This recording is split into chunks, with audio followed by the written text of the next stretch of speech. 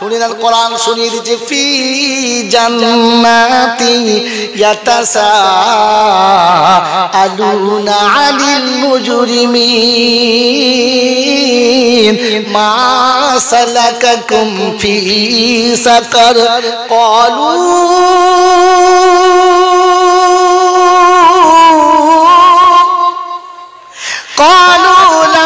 نك من المصلين ولم نك نطعم المسكين وكنا نخوض مع الخائزين وكنا نكذب بيوم الدين حتى أتانا اليقين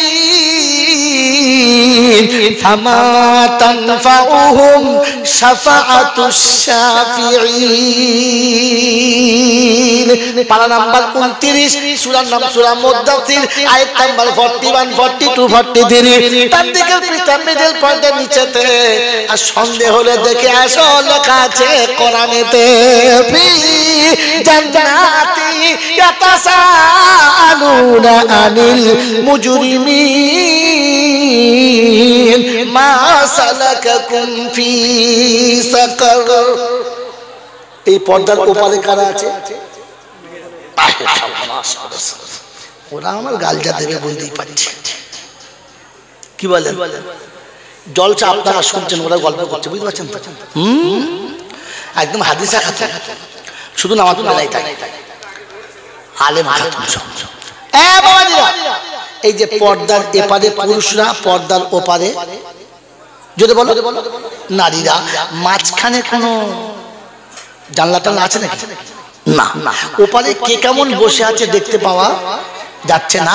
এপারে আমরা কে কেমন আছি ওরা দেখতে পাচ্ছে না।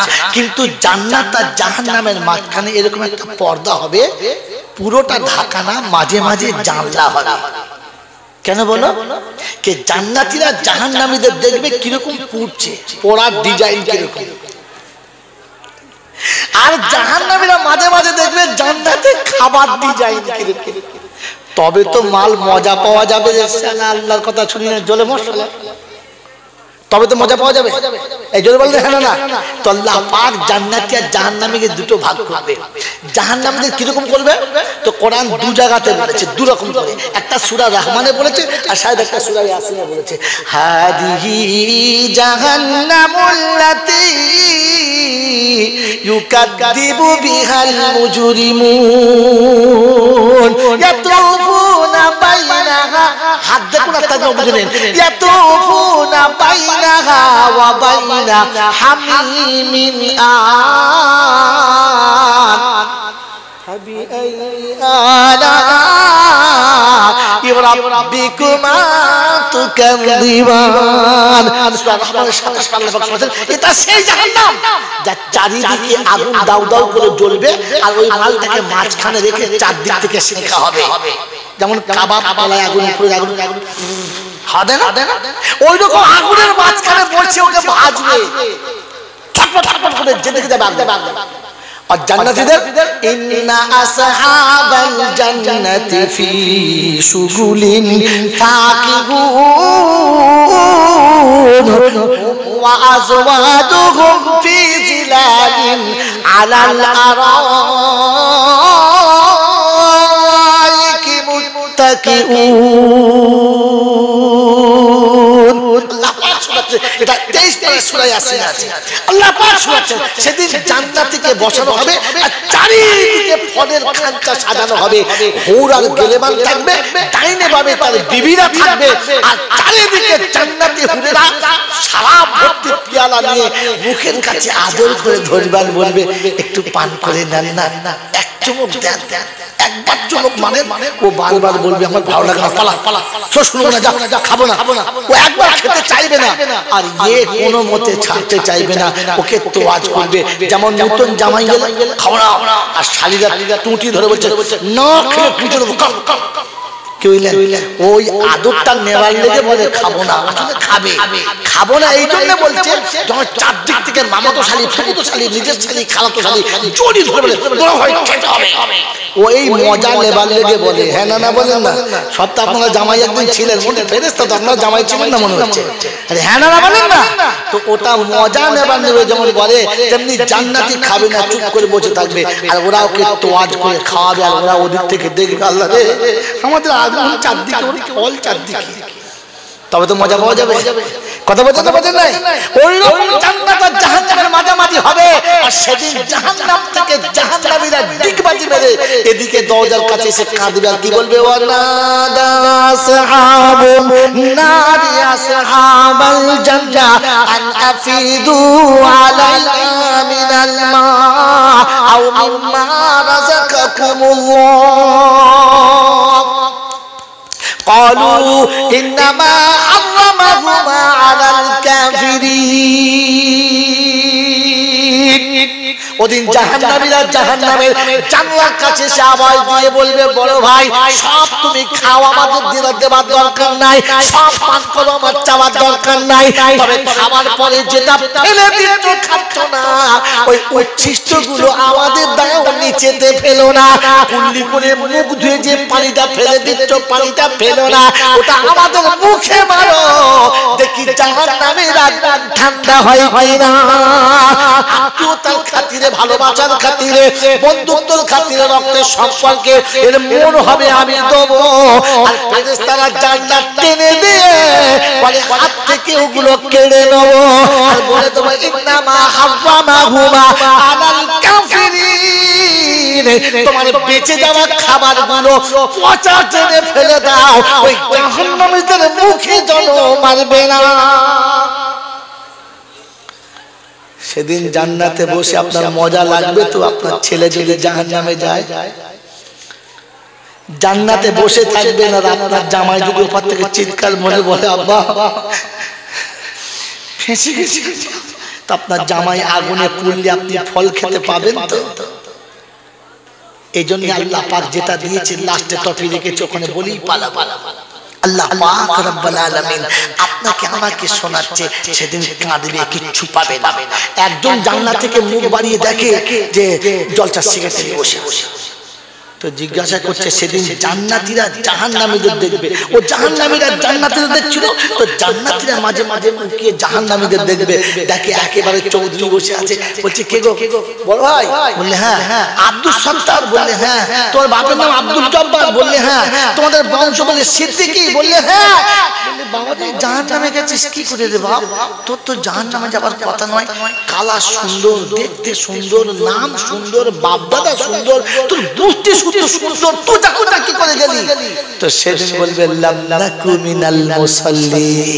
আমার বংশ ভালো, জাত ভালো, কালার ভালো, ডিগ্রি ছিল অর্থ করে সব ছিল। আর নামাজি ছিলাম না বলে জাহান নামে যেতে। এই জন্য মুসলমান যত ভালো হও, বেনামাজি কখনো জান্নাতে যাবে? জোরে বলো, বেনামাজি কখনো জান্নাতে যাবে? যাবে না! সেজন্য বুজুর্গদের একটা কওল আছে যে বেনামাজি মরে গেলে মুসলমানের কবর দেনে কবর দিস না। কারণ ও ঘুমাবে না আর কাউকে ঘুমতে দেবে না। তোমার পাশের খাট যদি বাবা গো মা গো বলছি গো। আর ঘুম হবে তোমার? তোমার। তো ঘুম হবে না। ও ঘুমাবে না দেখে ঘুমতেও দেবে এই জন্য বেনামাজি কবরস্থান আলাদা করতে হ্যাঁ আমার শুনেছেন বন্ধুরা। আমার আল্লাহওয়ালা জ্ঞানী মনে রেখে দেন, আল্লাহ পাক শোনাচ্ছেন, সেদিন জাহান্নামীরা বলবেন লাল্লাকু মিনাল মুসাল্লিন, আমি নামাজি ছিলাম দাও, মিলাদ দাও কুলখানা দাও, আত্মীয়দের খাওয়াও করো। একটু ভালো করে দেখে নাও। যাদের বাড়িতে মিলাদ হয়, বাড়িওয়ালা নামাজ পড়ে? বলছে, না। ওই বেনামাজির ঘরে মিলাদ হচ্ছে মৌলবি কেঁদে কোন চল্লা বারগায় দুটো হাত তুলেছে দরবার খুলে দাও। খোদা বলছে বেনামাজির দোয়া কবুল হবে। কে বলছে বেনামাজির ঘরে দোয়া করলে কবুল হবে কে বলেছে এই বেনামাজির ঘরে কেঁদে মন শেষ করে দিলে। বাপের মিলাদের লোক বাড়িতে খুঁজেই পায় না। তিন হাজার লোকের খাবার করেছে মাত্র দেড়শো লোক হচ্ছে চলছে। কেউ নেই। শেষ মোনাজাত করছে তিন ভাই চিন্তা করছে সব ফেলে দিতে হবে কি করব নদীতে ফেলতে হবে কে খাবে? তিনশো লোক তিন হাজার লোকের খাবার খাচ্ছে তিনশো লোক কে খাবে? দোয়া করছে তখন যারা তাস খেলছিল বিড়ি খাচ্ছিল চার দোকানে বসেছিল ক্লাব বোর্ড খেলছিল ওই ক্লাব ক্লাবের মধ্যে বসেছিল সব ছুটে চলে আসছে। এত ভেতরে ঢুকেছে যে আর বাড়িতে জায়গা হচ্ছে না তখন বলছে মনে করছে দোয়া নিশ্চয়ই কবুল হচ্ছে। তা নাহলে এত লোক আসতো না। ইয়াও আল্লাহর কাছে অনুনয় বিনয় করে বলছে রব্বানা তাকাব্বাল মিন্না রব্বানা রব্বানা যালামনা এরা ভাই ভাই চিন্তা করছে, শাল পাতায় করবে না। কি করবি চিন্তা কর, উঠে পড়। কথা বোঝেন না বোঝেন না। আর কেঁদে ফুল হয়ে যাচ্ছে। এরা তিন ভাই চিন্তা করছে। ফেরেস্তা উপর থেকে নেকি এনে নিচে নেমেছে। দেখছে যার বাপ মরেছে, সে কাঁদে না। আর যে কাঁদছে, ওর বাপ এখনও মরে না। তো আল্লাহকে জিজ্ঞাসা করছে, আল্লাহ মাল দেবো? বলছে, কাকে দিবি? ওর বাপ মরছে, ও তো কাঁদেই না। যাদের বাড়িতে মিলাদ হচ্ছে ওরা কাঁদে দেখেছে। ওদের খালি হিসাব চলছে। কত চাল লাগল গোস কত লাগল কত খরচা হলো। ও তো হিসেব করে নাই বাপের কি হলো। এই জন্য বন্ধু বেনামাজি কখনো জান্নাতে যাবে না। মিসকিন। আর যারা মিসকিনকে খানা খাওয়ায় না এরা জান্নাতে যাওয়ার যোগ্য না। ওয়াকুন্না নাখুজু মাল খায়জিন আর কিছু মানুষ থাকে দলে দল মিলয়। বড়ের মাথায় বলছে বিড়ি খাচ্ছে বলছে বলছে না যা মন যায় তাই বলে। ওদের বলতে হয় বলেই যায়। বলুক যা তখন হ্যাঁ ঠিক বলছি। বলছে। না যা বলে বলুক যা বলে এইরকম যারা মন খারাপ দলিল বানিয়ে গায়ে গা বিলয় এরা জান্নাতে যাওয়ার যোগ্য না। অকন্যা নুকাজ্জিবু বিয়মিদ্দিন। আর বেশ কিছু মানুষ থাকে যারা আখিরাতকে বিশ্বাসী করে না। ও মরে যাবে পচে যাবে যা হবার হয়ে যাবে। আবার কি হবে সব বলছে আমাদের বলে খেতে হবে তাই মিলাদের সময় বলে। এ কথা যারা বলে তাদের জান্নাতে যাওয়ার পারমিশন নাই। অকন্যা বিয়মিদ্দিন। তো এরা তখন বলছি এই জন্য বললে আমার চিন্তা করিস না। বলে কেন? একটা টাটকা মিলাদ দেবো। কীরকম? বলে, এদিকে বড় সাহেব আছে নিজামুদ্দিন আছে, মঈনুদ্দিন চিস্তি আছে আব্দুল কাদের জিলানি আছে, সব আল্লাহর ওলিদ আছে। ওলিদেরকে দিয়ে একটা মিলাদ দেবো আর তোদেরকে টেনে বার করে নেব। কসম খোদার বলছি, জাহান্নামীরা নিজে বলবে, হাত্তা আতানাল ইয়াকিন আর পাক্কা বিশ্বাস হয়ে গেছে, লা তানফাউহুম সাফাতু সাফিন। এই সমস্ত মানুষদের জন্য সুপারিশ করলে আমার আল্লাহ সুপারিশ কবুল করবে না। কোরআন বলছে বেনামাজির জন্য মিসকিনকে না খাওয়ানো বলার জন্য পৃথিবীতে যারা পৃথিবীতে যারা এই রকম দলগত ভাবে দল চালিয়ে চলে গেছে কোরআন মানে না। এদের জন্য দোয়া করলে আল্লাহ কবুল করবে না। কোরআন বলে দিয়েছে। এবারে আপনি আখরি মোনাজাতে কি নেবেন ভেবে নেন আমি আর বলব না। তিনটে কোয়ালিটি আপনাদের শুনিয়ে দিলাম। এবারে ভেবে দেখুন এতে তিনের আমার নাম পড়ে কিনা। একদল কখনো যাবে না। একদল জানোয়ার, তাই জানোয়ার জান্নাতে যাবে না। একদল জান্নাতে যাওয়ার যোগ্য না। কথা মনে থাকবে ইনশাআল্লাহ? এই তিনটে জাহান্নামী বলেছে, আগে আমি দেখি এর থেকে নাম বাদ পড়েছে কিনা। এই তিনটে দল থেকে নাম বাদ দেওয়ার জন্য আমি প্রথমে বলেছিলাম যে আল্লাহ পাক একটা নির্বাচন নির্বাচিত কাজ দিয়েছে, সেটা হচ্ছে রবের সঙ্গে পরিচয় করা। কার সঙ্গে? কার সঙ্গে? রবের সঙ্গে পরিচয় করা। উত্তর পেয়েছেন আপনারা? যে আল্লাহ পাকের নবী কেন বলবেন উন্মতি আর কোন নবী উন্মতি বলবে না? পান নাই। ওটা আপনাদের মাথাতেই নাই। আছে, মাথায় আছে? ওটা ভুলে গিয়ে খালি কথা শুনছেন, ওটা মনে রাখা দরকার ছিল। নাই। এই বন্ধু শুনে রেখে দেন এই পৃথিবীতে আল্লাহ পাঠিয়েছেন বলেছে রবের কথা মনে রাখবি ভুলবি না। তাই আদম এসে মনে করিয়ে গেছে যখনই আদম চলে গেছে আবার আদমের সন্তানেরা ভুলে গেছে রবের কথা। আবার নবী পাঠিয়ে বলেছে যা মনে করিয়ে দে। প্রত্যেকটি নবী এসে স্মরণ করিয়েছে এই পৃথিবীর গাছ, মাছ, পাথর, পর্বত, তোর তোর আসল রব না, তোর রব আর একজন আছে। নবী এসে রবের সঙ্গে পরিচয় করিয়েছে। একটা নবী গেছে আর একটা নবী এলো আর একটা নবী গেছে আর একটা এলো। একটা, দুটো, চারটে, ছটা, দুশো, পাঁচশো, হাজার, দু হাজার করতে করতে এক লাখ কিংবা দুই লাখ চব্বিশ হাজার নবী এসেছে। বান্দাকে রবের সঙ্গে পরিচয় করিয়েছে। যেদিন আপনার আমার নবী এসেছে, সেদিন আল্লাহ বলে দিয়েছে আর কোন নবী যাবে? আর কোন নবী যাবে? না। তাই নবী বলেছে, রব্বি হাবিলি উম্মতি, আমার উম্মতের কি হবে? আপনি বলেন, সব নবীর উম্মতের চিন্তায় জন্য ছিল না। সে জানি আমি চলে গেলে আমার নবী আসবে। নবী এসে উম্মতকে রবের পরিচয় করাবে। আমার উম্মতের কাছে আর কোন নবী আসবে? আমার উম্মতের কি হবে? পেয়েছেন? পেয়েছেন? এখনও সম্পূর্ণ নয় আধখানা দিলাম। হে বাবাজিরা সারা জীবনে এটা জানতেন না মনে করে বাড়ি নিয়ে যান। আজকে জলসা আপনার কামিয়া। আমার আল্লাহ আল্লাহ ভাইরা শুধু মানুষেরা আল্লাহর দরবারে আমার নবী শোনালেন রব্বি আল্লাহ আমার কি হবে? তাই তারিখ শোনাচ্ছি। টাইম তো নেই মনে হচ্ছে। সাড়ে দশটা সাড়ে আমার তো আরে ভাই দাওয়াত করার সময় বললে নটা এসে বললে দশটা এখন বলছে সাড়ে দশটা। ঠিক আছে আমারই বাসটা। খেটে মরি কি বলেন জি? তাই হোক কমিটির কথা একটা শুনি। সব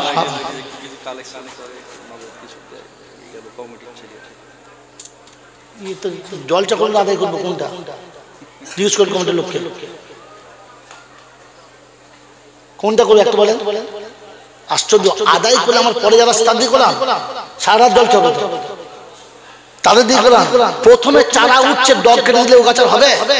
আরে গাছপালা ডলপালা অনেকগুলো হোক তখন কাটবেন এখন থেকে কাটার কিন্তু আছে কথা শুনেন এই ভাই দেখেন পুরো বলল। আর কথা শুনবে না। ওর দোষ নেই।